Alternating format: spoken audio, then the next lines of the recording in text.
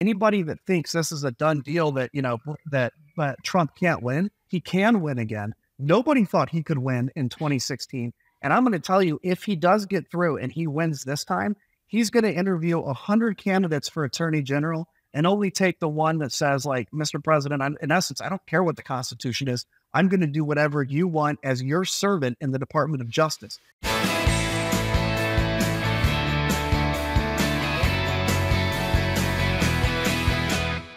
Welcome to the Bulwark Podcast. It is Halloween, and I don't need you don't need me to tell you that it's pretty scary out there. So we are joined by Adam Kinzinger, former congressman from Illinois, whose new book, Renegade: Defending Democracy and Liberty in Our Divided Country, is out today. So first of all, Adam, thank you for making the time to be with us because I see that you're pretty much everywhere this week. Yeah, Appreciate but you know what? The Bulwark podcast with Charlie Sykes. I mean, who couldn't be there, you know? Plus, now that I get to see you, it's like a handsome, overwhelming. Okay, so uh, you know, one of the things uh, there, there's a lot of things we need to talk. We need to talk about uh, the new fifth string speaker. We need to talk about uh, the war in the Middle East. We need to talk about uh, your critique of of politics. But what I really was struck by about your book, let me give you my my short re- review, is that I what I really appreciated was how raw it was, how personal it was, and how open you were about um, the the the transition. Um, you know, the the the way that you had bought into a lot of this and are admitting that you were part of this as as I was. Um, and and you you had a very interesting soundbite yesterday. I want to just just play this. You were on CNN, where where you're a contributor now, with Anderson Cooper, and you told this little story. Listen to this. So I had family that sent a certified letter disowning me. They said, I've lost the trust of great men like Sean Hannity. Just funny, but they believe that. Okay, so talk to me about that, Adam, because I think what a lot of people forget is that people who became renegades in the Republican Party, it wasn't just a political matter, that there was a personal cost, and you had your own. Tell me about this. You had your own family send you a certified letter. I mean, yeah, I mean, what happened? We talk about brain worms. This is brain worms. So like, you know, I lived in Channahon, Illinois, and I would go down and visit my folks in Bloomington maybe once a month, right? Mm-hmm. So I, I go down on this once a month journey, and it happens to be the time that my dad's basically his kind of cousins, big a big group of them. Okay. This certified letter shows up to me, to my parents' house. I'm yeah. like, oh, okay, well, interesting, good timing. I start reading it, and the first two words were "oh my," and I was, you know, naive enough to think they were going to be like, "oh my, how brave you have been," and it says oh my, what a disappointment you are to us and to God. That was how it opened. Mm-hmm. And then it just went on. You've lost the trust of great men like Sean Hannity, Mark Levin, and like a few others in there. And I'm like, you know, if you ever wonder if it's a cult, all you have to do is just look at what is the thing that they are upset at me about. And it wasn't much about principle. It was all about losing the trust of great men like Sean Hannity. And, you know, and yeah, you know, I laugh about it because to me it is just so ridiculous. But since I got out of Congress, you know, I use the analogy of nobody has PTSD while they're in combat. It's yeah. when you're out. And it's it's been kind of coming to grips with the impact that's had. And, you know, things like my co-pilot in Iraq, you know, one of the guys I should be closest with sending me a text a year ago that says he's ashamed to have ever flown with me and ever served really? with me. Why? Yeah. Why? Because I don't know, because I told him the truth about January 6th or or I'm not in his cult. And yeah, I mean it's a it's a real impact. And it's not, I tell a lot of the, my story. I wasn't even the one that released that letter, by the way. She's so yeah. crazy that the one that led that, that she released it somehow thinking it would turn people. But, you know, it's, I say that because everybody's got a story like yeah, that. everyone's and, got And I'm sure like Thanksgiving's going to have the more, even more. Yeah, exactly. Let me read you a passage from from your book. This is actually from the introduction when I was talking about that it was kind of raw. Um, this is what I was thinking of when I when I first read the book. You write, I feel some responsibility for January 6th and the rise of Marjorie Taylor Greene and her ilk, if only because I was a participant in and witness to the GOP's gradual descent into a dysfunctional and destructive force in our politics. Intoxicated by my status and addicted to the level of attention, I made compromises to, let's face it, feed my ego and sense of importance the correction I made as I embraced my inner renegade and voted to impeach a president of my own party came late, but it did arrive. Now, this is one of the things about politics that I think that people um, that, that that people don't fully understand, which is just the role of status and ego. I mean, I remember years ago reading John Dean's book where he was talking about how, you know, in the Nixon White House, you know, how he, you know, got sucked in. And he tells the story of being on an airplane. And when the airplane lands, the Secret Service or the marshals come on and say, Mr. Dean, you know, we want to get, you know, have you come out first because you're such an important guy. And that goes to your head. So this is part of it because as people are trying to figure out why do people make these compromises? So talk to me about that passage because that uh, that was that that's that's pretty personal that you actually say I was part of this and I made these compromises because I I wanted to stay important. Yeah, I mean it's it's I think it's essential because if you look at let's let's take somebody like uh, Elise Stefanik, okay, yes. who was this paragon of normalcy, this you know icon of you know the in the ilk of Paul Ryan, and literally she wasn't one of those that took a few years to change. She literally on a dime. It was just like you know because what happened with her was, and I think it was the impeach, the first impeachment or something she came out in defense of, of, Donald Trump. And I think she legitimately believed her defense, mm-hmm. but then she got all kinds of accolades from the people she desperately wanted it from. Right. And realized all of a sudden, oh, I can I can be famous this way. And and she is. I mean, she's arguably yeah. considered for vice president. And so, you know, from my experience, it was like, so 2011, you know, I go on, I'm on Face the Nation as a freshman. My goodness. I go on Fox News. I was on uh, Greta Van Susteren's show every Monday for I think a period of about six months to a year. And every time you you know take your earpiece off, take the mic, shake the hand of the host, and walk out, the first thing you do is pull out your cell phone because it's been yeah. buzzing the whole time, and it's all your friends telling you how great you are and how awesome it was to see you. And then you, the first time you get recognized at the airport and somebody wants to get their picture taken with you, it's all very intoxicating. It's like a drug, right? It's like um, it's like nicotine. You want you take a little, you want more, you want more, and uh, and it's only when you can recognize that and break with it, and all of a sudden say that your soul is more important and your legacy is more important than that, can you recognize it? But I think too many people have instead said my legacy has to be the fame, and I can't think of myself without it. So it's yeah, it's a very raw and, and, and very human admission, but I think it's one that frankly affects almost anybody in politics, whether they admit it or not and yet, and yet you're you're more famous now than ever, right? Yeah, kind of unintentionally. having yeah. done un, unintentionally, having lost um, you know members of your family in the respect of of, of God and uh, and apparently, um, but so what was the breaking point for you? You were a conservative Christian uh, who who ran because you were inspired by Ronald Reagan. You were you know very much in that tradition. I mean, you go back to 2011 and you were you were you were one of the one of that class of tw- of 2010, right? I mean, you were comfortable with mm-hmm. the Tea Party, you were comfortable with Christian conservatives. You thought of yourself as being very much part of the mainstream. What was the moment you said, "I'm I'm I'm willing to break with that. I'm not going to be part of that. I'm going to give all that up." So it was interesting. So throughout kind of the whole, let's say 2011 or I guess 2010, including the campaign to 2016 you know, I was always fighting the fight against the what uh, Boehner called the exotics. Like, you know, at the time it was like Steve King and yeah. you know the few people, but we were we were generally winning that battle, right? But that so I was engaged in that battle. It was when Donald Trump came along, and I it's something I actually just realized today. And I talk about in the in the book how I went to this uh, Republican retreat and got pretty hammered one night, yeah. and uh, and I came to realize the reason mainly that that happened is I guess this is when I started the break, and I'll get to the full break. But you know, Donald Trump gets elected. We all go to Philadelphia as Republican members of Congress for this like retreat, and I start seeing my friends and people that I respected that that went from a week ago being really concerned with Donald Trump being president to being enthused that he was being hmm. that he was president. Oh my gosh, this is great. We can do this. Genuinely awesome. enthused, not just pretending to be enthused. I mean, they they internalized yeah. it. Okay. Yes, they internalized it and they, you know, they they came to grips with he's there and now we can do all this big stuff and I may have a chance at power. That's when I started to realize like this is going to be dangerous. Now, I don't think by the way any of those actually believe for instance the election was truly stolen. but some of them got really deep. And you look at somebody like a Billy Long, for instance, who was pretty moderate that ended up, you know, being yeah. one of Donald Trump's biggest fans, begging for his support.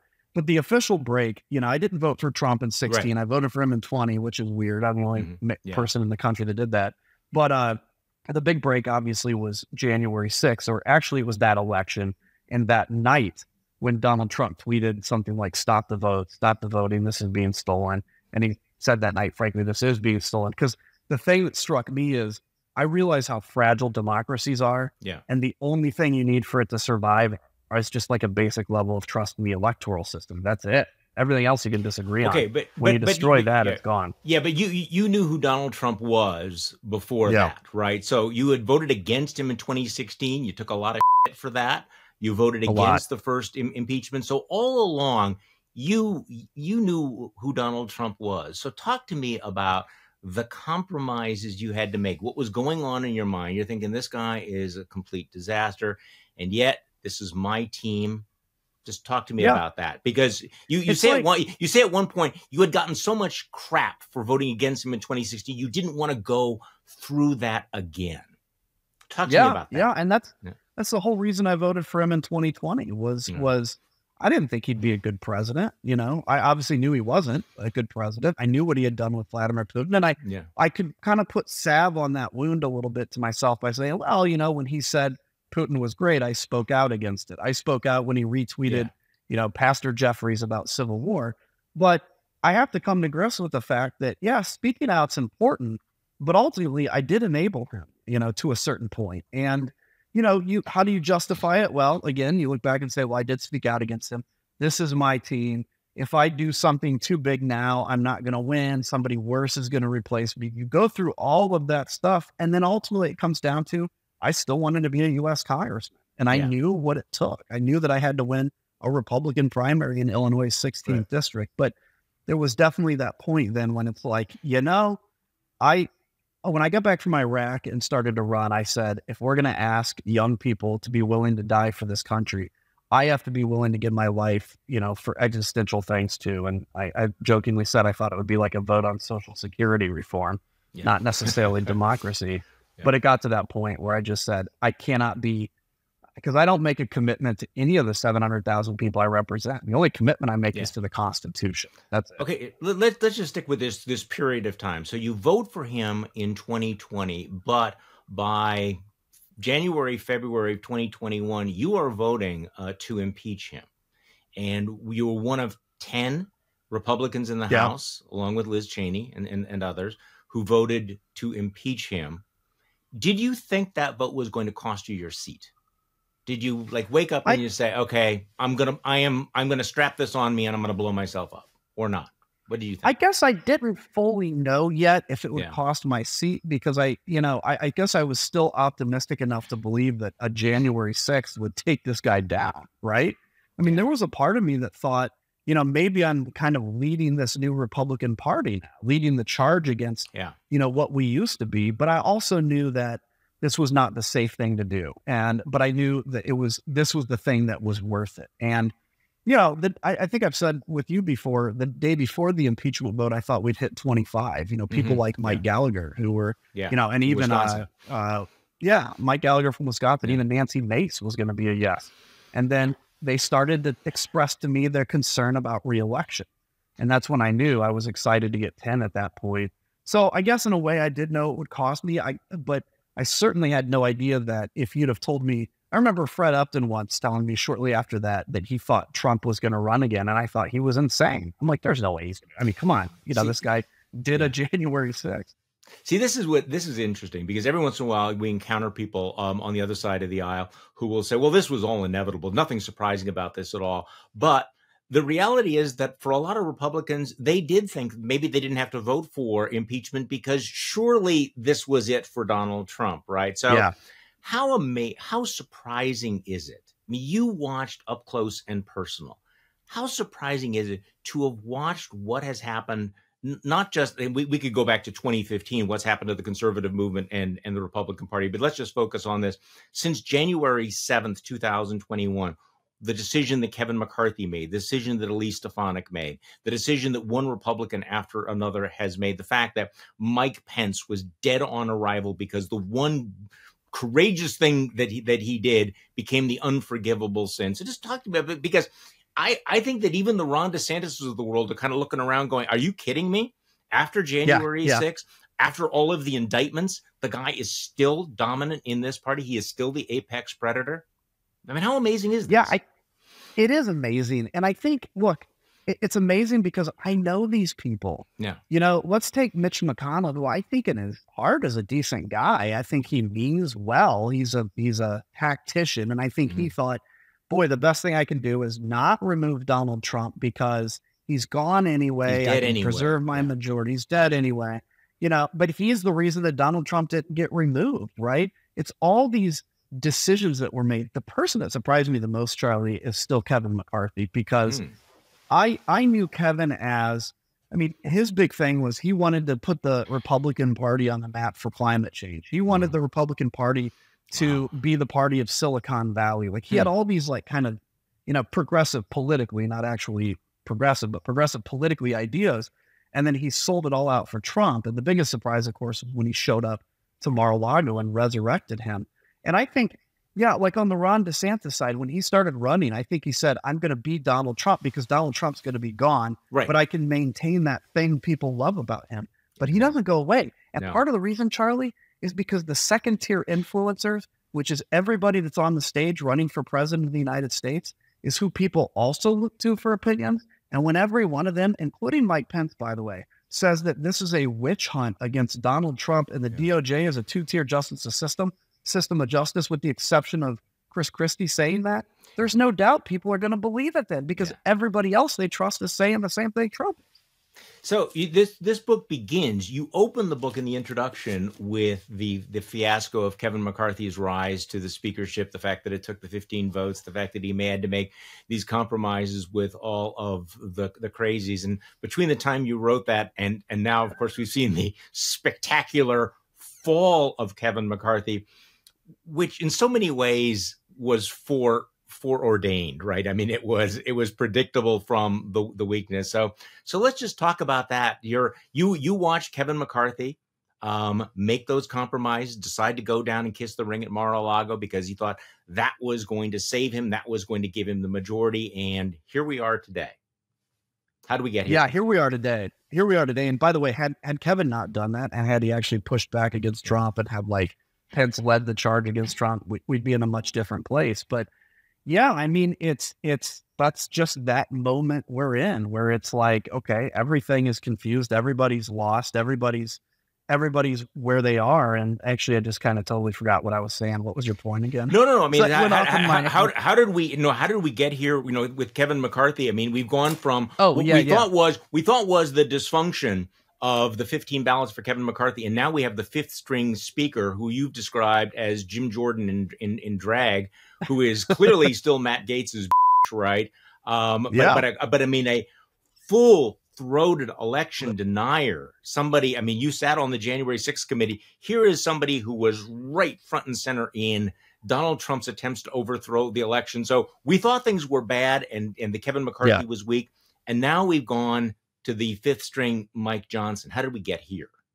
Well, so like, let's take the like, who's the most powerful person in a room? So let's say you put 10 of us in a room, everybody yeah. has a hand grenade. Okay. Yeah. We're all equally powerful. If one person is willing to pull the pin and drop the grenade, they're the most powerful person in the room, right? It doesn't matter how tall yeah. you are, it doesn't matter right. how much political power you have. And that's what we have enabled in the Republican Party for a long time. If you see the stuff that we saw with this battle for speaker, none of it was new. None of the dynamics were new. There were always kind of yeah. the, we'll call them the moderates. They're not moderate, but they're moderate in, in tone. The moderates, there was always the crazy caucus and then the kind of 80% that just wanted to just survive. That's always existed. The difference is now it was put out in public. When Kevin had to cut because he had such a narrow majority, he had to cut all those things. He basically got in a room with everybody that pulled the pin on a grenade and said, and they all had different goals. Yeah. And he yeah. said, okay, if you put the pins back, you know, whatever. And mm then, so his death, his political death was inevitable. Then the fact that we got to a point where the only way you would be a even viable candidate for speaker was to deny the election. And right. that was split screen on the news with Jenna Ellis tearfully speaking the fact that she lied to right. the American people about the very same thing. The fact that there were like four people that have already taken plea agreements. The fact that everybody knows Donald Trump is guilty. But yet, the thing that only thing that could qualify you for speaker to start is right. that you basically were contradicting what these people were confessing to. Right. That's the moment we're in. So, Mike Johnson, and this is like, I think I kind of predicted this when his name was floated, but I, am not. I'm not mm-hmm. positive. Mm-hmm.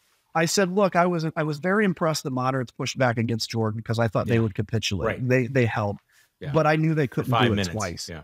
They held for five minutes. You couldn't do it twice. Mike Johnson, by the way, I remember I didn't know him well, but I remember him coming up to me trying to get me to sign on to this lawsuit, you know, for Texas. And I'm just like, Mike. The totally bogus Texas lawsuit that would have thrown out totally. all of the votes of everybody in Wisconsin, for example. Yeah, I mean. Yep. And and by the way, a little known fact about that, Kevin McCarthy and Liz Cheney had a conversation. And Liz is like, Kevin, you're not signing that, right? And he's like, Oh, of course not, Liz. That's crazy. Yeah. The next day, the did. list comes out. Kevin's not on it. And he puts out a press release that says, I was inadvertently left off. That's the kind of courage Kevin McCarthy yeah, those those I, I, am their leader. Those are my people. I need to uh, I, I need I need to go after them. So um, yeah, the, the the so Mike Johnson's one of his first things that he's doing is um, and I want to get back to the other the, the, the, bigger picture, but I know you had some thoughts on on this. So you know the, the question of what kind of a speaker he would be. Um, he's made it clear that he will um, you know not vote on Ukraine aid uh, and his and the Israel aid package. You know he, he he's decoupling those two aid packages, but He's also playing this stupid game now with the Israel aid package, at least this morning, saying that he um, wants to offset the cost by slashing um, IRS enforcement, which would actually increase the deficit. What do you think about that? Well, so first off, on just the splitting the aid, it's dumb, and I, you know, I think Mike is trying to figure out how to lead now at the same time because he's kind of given multiple feelings on this. But on the Israel stuff, he's actually tactically, I think this is dumb, just tactically, because it's going to give an excuse for the Senate to vote no. And yes, I would have voted no on this package, by yeah. the way. They'll really? vote no, and now they'll be able to jam the House with uh, with multiple with you know what what frankly needs to be done, which is Ukraine and Israel. And this is just this is par for the course. It actually does surprise me though a little bit because I would have thought that they would have done at least Israel aid without any offsets. Right. The fact that right. they're offsetting with the IRS, what it goes to show, Charlie, is how unserious they are. Because yes. why? It's the IRS, of course, because you can go on Fox News and attack the IRS. It's a That's why they're point. using the IRS. Yeah, yeah but I mean, it, it is. the, the uns- and I wrote about this in my newsletter. The unseriousness is that it's a great talking point for the base, but it doesn't actually offset the cost. They pick the one spending cut that will actually blow up the deficit by thirty billion dollars. Okay, yeah. So let's take a deep breath and, and and and go back because your book is is a memoir of how you got here, um, your personal story and the personal story, and and, and it, it it is it is a great read. But what I think is also interesting, as I as I said right at the beginning, is is the is the confessional, and of course, you know, you know that there are people, uh, the progressives, who say, you know, um, well, where's the apology? Where's the acknowledgement of complicity? Well, you you you do that in the book, you do write that you feel some responsibility for people like Marjorie Taylor Greene because you didn't fight the good fight the whole time. Um, you you write that you you didn't traffic in hate, but you do say that you were part of the system that did.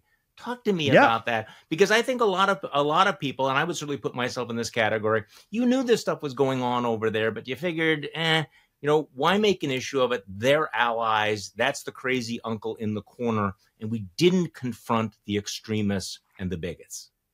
Yeah, that's it. That's exactly right. Because, you know, to an extent, it was this idea of it's coalition, right? Yeah, we're going to have the crazies, the bigots, the extremists. They're voting Republican. They're going to yeah. vote for me in the primary, maybe, and they're going to vote for me in the general election. And so, you know, if somebody says something that's, I don't know, racist or insane, instead of pushing back like John McCain did, for instance, when the lady called uh, Obama Muslim, you just kind of chuckle or shake your head or just say like, "I'll look into that." I mean, that was the favorite one. It's like, "Hey, did you know that yeah. you know the UN's going to kill all Christians?" It's like, "Oh, really? I didn't know. I'll look into that." Right? And you look at like, do I consider myself pushing those theories? No, but could I have pushed back harder? Yes. Could I have, you know, gone on Fox News specifically for a hit saying that Jade Helm, which was this conspiracy theory in 2015 Ooh. that Obama was going to take over Texas, that it was yeah. false. I could have. Did I do that? No, because I only wanted to go on Fox News for hits that actually sure. the Fox News viewers would like. And so, right. yeah, all of that comes into play. Yeah, no, I mean, I remember that as well. We, you know, we laughed at it, we rolled our eyes, but like, why spend any time? Because you don't have to worry about that, right? And we want to come back to this because I keep thinking about all the times that we should have pushed back against that, but but we rationalized not doing it. We would tell ourselves it's just a small number of people; it's not that important, and but we'll get to that. So you spent a lot of your time in growing up in in rural Illinois. I mean, and one of the great stories of our time has been this dramatic shift of rural voters from the the Democratic Party to the Republican Party, or more or more Republican. Give me some sense of what is going on because you write about this in in the book that you know across the Midwest, places like West Virginia you know what happened after 2008 i mean 28 yeah. you know, in, oh, during the the great recession the opioid ep- epidemic what happened so if you look at um you know first off you can start with the 90s with the disappearance of manufacturing right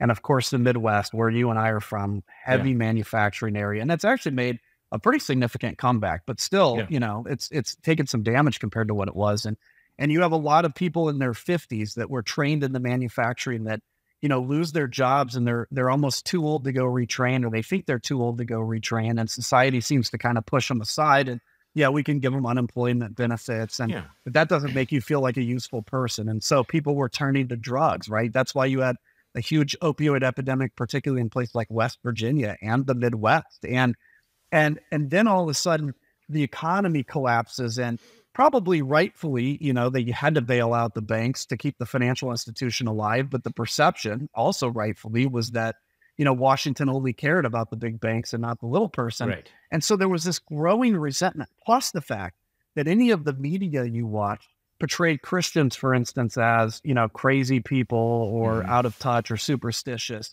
It betrayed the, you know, the values of San Francisco or New York City. And so Donald Trump comes along, and I guess the saddest thing is he's the biggest con artist of all of anything.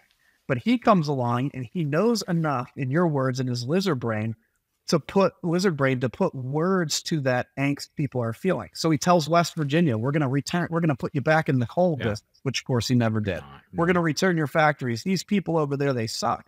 And he put a voice to that, and that's why I think you've seen this massive shift. I mean, I have an uncle that used to kind of bragged that he would vote Democratic sometimes. It's now yeah. one of Trump's biggest supporters because he just put voice to that. And so, that's what I think a big thing is that happened. I, this is this is an important point because you know, and, and again, you you're right about this. You know, these people felt unheard. Um, they didn't see themselves portrayed. They thought they were being looked down upon, and the people were looking for somebody with an inspirational message. So these were people who looked at Ronald Reagan, looked at Barack Obama, who addressed their isolation. They felt they were heard by them. But you're right. What they got was a person who turned that isolation into hate. And Trump gave people a license to say racist things, anti immigrant things, anti Semitic things. He basically also said, You are not responsible for this. He came up with, and again, this is there's a long history to this saying, you know, blame these people. It's the immigrants, it's those people. And somehow that connected the Democrats look at this and they go, well, hold on, hold on. These are people who should be voting for, you know, voted for, you know, FDR, who voted for Lyndon Johnson, who voted for John F. Kennedy and Harry Truman. They voted for Barack Obama. Why are they not listening to us right now? We are the party of the working class and the little man. And yet that's not the way it played out in the Midwest. And and my sense not- is there are still a lot of Democrats that don't understand this. I, there are, there yeah. are because and I don't know where the shift happened, but at some point the Democrats went from think of like a Bill Clinton mm-hmm. who basically spoke blue collar language to where we are today. And look, Democrats get upset at me for saying this if but you Joe, want. Joe Biden's a blue collar guy. Yeah, but but yep. Joe Biden speaks blue collar, right? Yeah, he does. He does. And you know, his he's up against the fact that again, some people are willing to use the fire of anger that he's not willing to yeah. use. And you know, if if Joe Biden decided, which he wouldn't, because I don't think his soul would allow it, to become anti-immigrant and blame the Mexicans, yeah. maybe he'd gain some ground among this. Or if he had the ability, which I think is is tough for him, maybe it's advanced age, maybe it's just not natural, to basically inspire and saying, you know, a different thing, then that's possible. But, you know, when you when you have a party that what they don't necessarily embrace it, but they tolerate Tlaib, for instance, blaming Israel for bombing yeah. in Gaza when it's completely untrue. Um, you know, this defund the police, get mad at me for it, but there's still the perception that the Democratic Party is against funding the police. That's not yeah. my problem. That's yeah. a Democratic problem. That's something that's very important to the middle class voters in areas where you and I come from. And uh, right. And the other thing is just look, everybody in their heart has a battle daily between like light and dark, right? And it's easy to let darkness overtake you. Right. And when a man stands in front of you and whispers the dark parts of your heart and gives you permission to use those dark parts of right. your heart, it overtakes. And that's what's happened. Yeah, no, and, and and I think that's a crucial point. But a lot of these these folks, you know, if, if you appeal to the better better angels of their nature, um, they would, you know, it's a, you don't want to be that person. You don't want to have these these views they would respond to that. But but what's happened is that they have tapped they have tapped into it. So you you had an event in New York and you're there and by the way, you're a family man. This is this is this is great. This is reality. Yeah, by hear, the way. The, this is this crying? is reality podcast. I, I, have a dog here. You have, you know, because you're a you're a young dad. So yeah. let's talk about the Tea Party because yeah, th- this is always this is fascinating to me the, the, the, way the tea party has morphed and the role that it played. You said in in new york the tea party had been the weird table at gop events but now the more extreme you can be yeah. has become the essence of how republicans show themselves to be conservative now. It's not what you believe. It's become about being the craziest person in the room the most extreme person in the room. So for example the, on the abortion issue well, you know, an abortion ban at 15 weeks. No, you have to say an abortion ban at six weeks. So the Tea Party, I mean, you know, I, I thought the Tea Party was a legit thing in the beginning. It was interesting yeah, it was. to watch how it became a grift, how it became extreme, and it became about something completely different than we thought it was about, right? You know, the first uh, Tea Party event I went to was in New Lenox, Illinois, and yeah. there were eight or 10,000 people that showed yeah. up. Yeah. So you think about that. What was that? What were those eight or 10,000 people? They were folks that were upset with Obamacare. They were upset with government spending. They were basically Republicans. I mean, that's yeah. just what they, it was just a large group of Republicans that, that, you know, that were having their voice heard. And, and when the GOP won the majority, the vast majority of them said, okay, we did our job and they went home. The problem is these organizations that were formed uh, continued. And so I would go to Tea Party meetings after that that would have a thousand and then 500, and then it would end up like 20 people there. And what you had was this paring down of the normals to the extremes that finally, for the first time, had a, you know, what they felt like people were paying attention to them and their crazy ideas. And that became the Tea Party. It like, look, I was considered a Tea Party darling in 2010. Right. I never once and I even proactively pushed back against the idea of voting against increasing the debt limit. I said, no, of course you have to increase the debt limit. Everybody's go, oh, okay, yeah, that makes sense. Can you imagine saying that in front of a Tea Party now? And yeah. it just goes to show how it evolved from just normal kind of upset conservatives to what it is today. I remember just in real time watching this, and I know there'll be listeners who will say, "Oh, this was all astroturfing; it was all the Koch brothers or whatever." Um, maybe uh, eventually it became that, but it starts off as as a movement, and then it becomes this this racket. I think there's a famous quote about this, and it became this organized grift that was dominated by the, the, the extremists, which in many ways followed the trajectory of the Republican Party. I mean, I remember yeah. how the Tea Party Express for about five minutes was actually, you know, anti Donald Trump because they kind of recognized that he had nothing to do with what they were talking about. He was not interested in fiscal responsibility. He was the king of debt and everything. But of course, like everybody else, they flipped. They flipped the switch. Yes. They became something else because the script demanded we don't actually care about entitlements or about deficits or about debt. We care about who's going to give us these dopamine hits and, and that and that and that's how it's so much of the media and so much of the organized Republican Party and, and, and the that ecosystem around it became, right? It became more and more intense, more performative. And by the way, with dopamine hits comes money, right? Yeah. Because if you can if you can tickle that zone, people will write you a check. If you can make them fear for the life, they'll write you a check. And yes, you know, politics will become Hollywood not just in the fact that people can become famous now and well known. It's become Hollywood in that it is a high profit business. You know, it used to be you'd raise enough money. I think my first campaign, yeah. I, I, raised and spent a million and a half bucks. That wouldn't get you through a state house race in Illinois now. Wow. And that because money, money has become, yeah, it was a lot of money then. And so, yeah, I, I mean, it's, it's with the Tea Party, they, they, the Tea Party Express, they claim that they're about fiscal conservatism. And then all of a sudden, everybody's getting into this cult and loving what this guy is saying. And then it's like, oh, that's how we can raise the cash. I sat in the Oval Office and heard Donald Trump say, um, yeah, we have to, you know, reform entitlements and reform Social Security next next uh, term.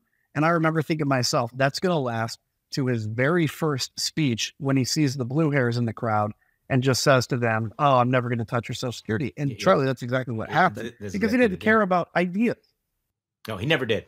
So let let's look at let's look ahead. Um, is is our system prepared for what's going to happen in 2024? I know you've given a lot of thought to this. We now know that Speaker Mike Johnson is going to be presiding over the certification of the 2024 election. We know what the passions are going to be, the trials, everything. You know, this is the ultimate stress test for democracy, yeah. isn't it? It is. I look, I look forward to 2028 and say I think it's going to be an amazing election cycle because there's going to have all new faces and all new energy. This one I worry about. And, you know, we could have these guardrails in democracy, you know, like off an interstate, for instance, and your yeah. car can hit guardrails and stay on the bridge and not fall into the river. If a second car comes along and hits that same guardrail, it's going to take it off the road and you're going to fall into the river. And the problem is, is now Trump and the Trump type folks have learned where the weaknesses are in the system. They accidentally tested the system. I think intentionally tested it, but accidentally tested the weak points in 2020. And I think now they're going to know exactly where the weak points are. And if Donald Trump wins, and by the way, anybody that thinks this is a done deal that, you know, that, that Trump can't win, if it, you know, I've, I've heard a lot of people that just kind of scoff when I say take him seriously. Mm. If they think he can't win, listen, he can win again. Nobody thought he could win in 2016. And I'm going to tell you, if he does get through and he wins this time, he's going to interview 100 candidates for attorney general and only take the one that says, like, Mr. President, I'm, in essence, I don't care what the Constitution is. I'm going to do whatever you want as your servant in the Department of Justice. That person is going to get selected to be attorney general. And we're going to find a system that is stressed beyond what even the founding fathers imagined it could be stressed to. Who's he going to pick for a vice president, do you think?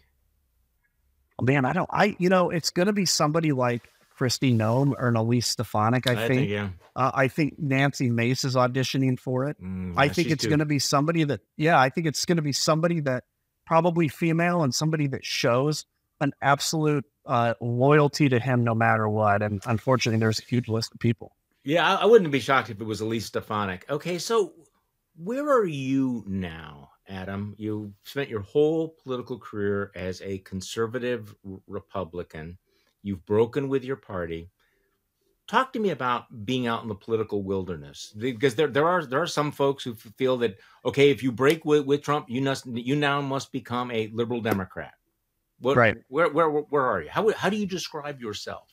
Where are you at? Oh well, I would consider myself politically the same kind of I'd say center right, you know, moderate on some things, mm-hmm. conservative on others that I've always been. I've I've had to come to peace with the fact that I don't need to be a member of a tribe because uh, neither tribe I feel like I'm fully represented by. Um, I've found new allies in the Democratic Party on the issue of democracy, uh, but I also recognize that Democrats have to fight that fight within their party too because there's some illiberal elements within it. Um, so I don't know. I just consider myself homeless. I'm maintaining the uh, the label of Republican because to me, I don't want to lose it. I don't want to give it up. I think it's important to maintain and to fight for. But I voted Democratic last election cycle, and if it's Trump against Biden, I intend to vote Democratic again.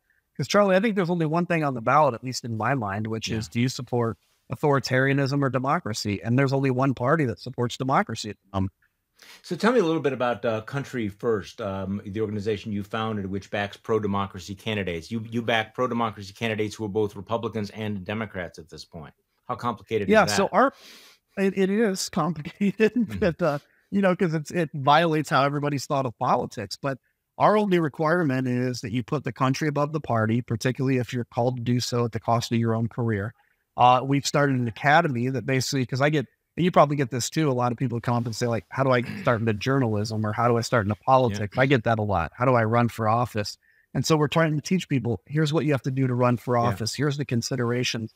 We do really good at institutional democracy building overseas.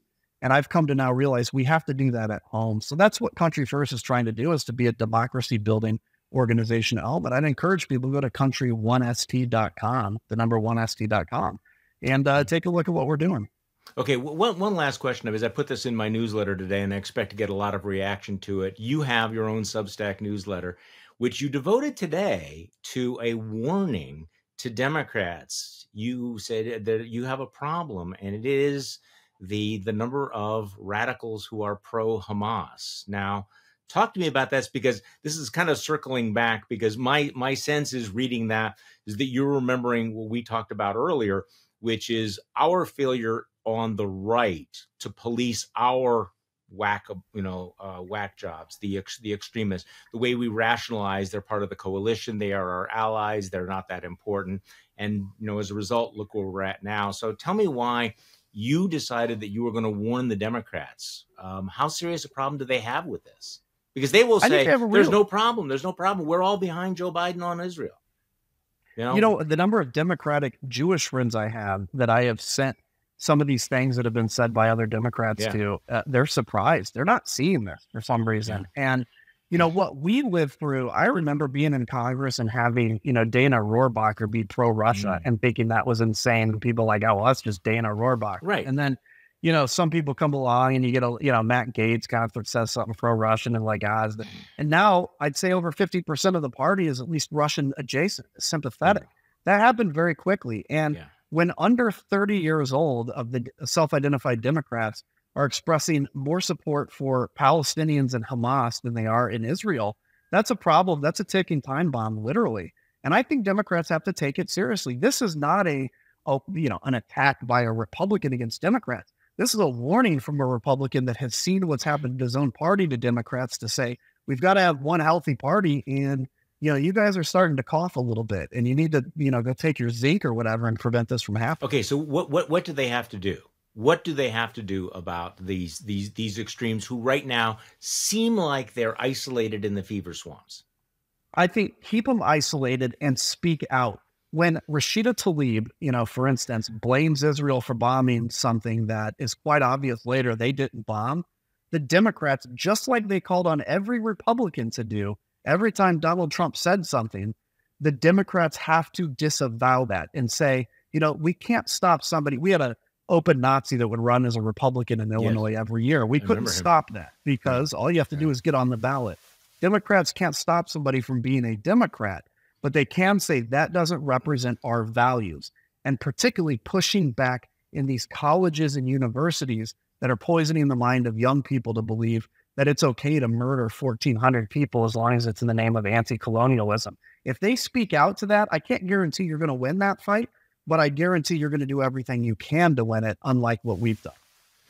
Adam Kinzinger's new book is Renegade Defending Democracy and Liberty in Our Divided Country. It is out today. Um, Adam is also a senior political commentator for CNN and, uh, as we just discussed, founded Country First, which backs pro democracy candidates. So, Adam, congratulations on the book and best of luck. Thanks. I appreciate it. Good to be with you. And thank you all for listening to today's Bulwark podcast. I'm Charlie Sykes. We will be back tomorrow and we will do this all over again.